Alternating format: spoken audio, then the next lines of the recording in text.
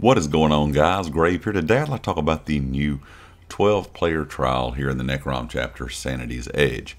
The developers kind of gave us a look at exactly what Sanity's Edge is all about.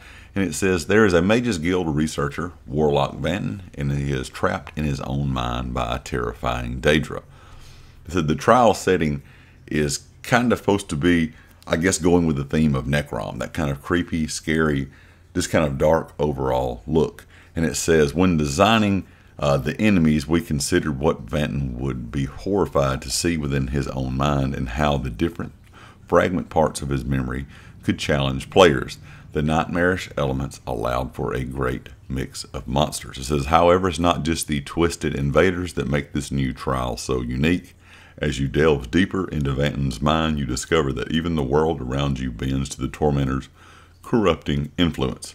It says, as with other trials, one uh, requires your party to ultimately defeat a series of challenging bosses, given, you know, kind of that same concept as you've come to kind of expect within other trials, but a wide variety of gameplay elements in each encounter. This is what's fantastic about Sanity's Edge is that each of the boss battles has a unique flow and presents their own challenges. There are puzzle elements, group coordination moments, and instances of chaos that with the proper plan of attack, you can conquer. As a result, Sanity's Edge challenges you and your team in new, perplexing ways.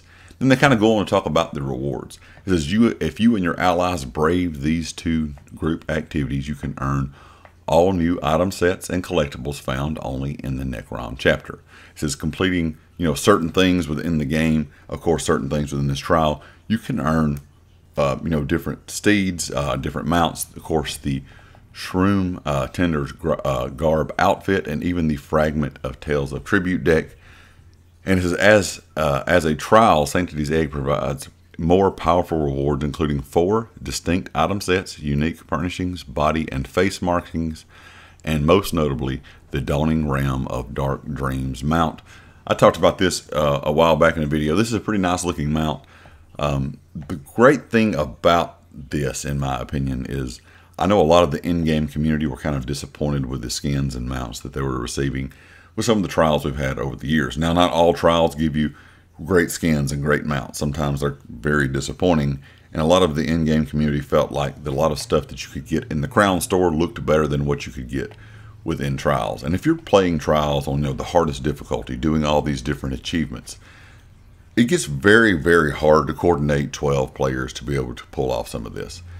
And to me, if you're able to do that, the rewards you get, the way they look, the skins, the mounts, should look better than what you can buy in the Crown store. So hopefully, this uh, you know th this kind of reward system they're adding uh, within Sanctity's Edge will provide people with a little bit more you know things to go for, things that they really like. Uh, some good looking mounts, like I said, some good looking skins, and of course some good rewards is kind of along the way in general.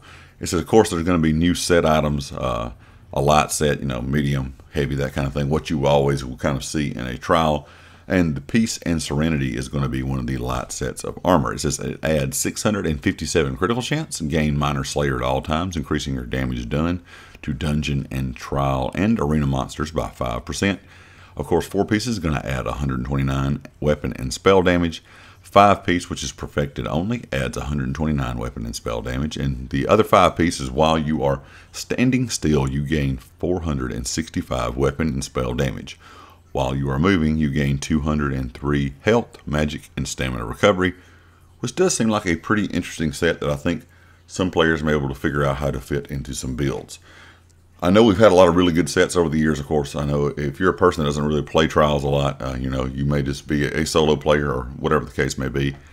A lot of the good sets in game come from trials, a lot of those in game sets.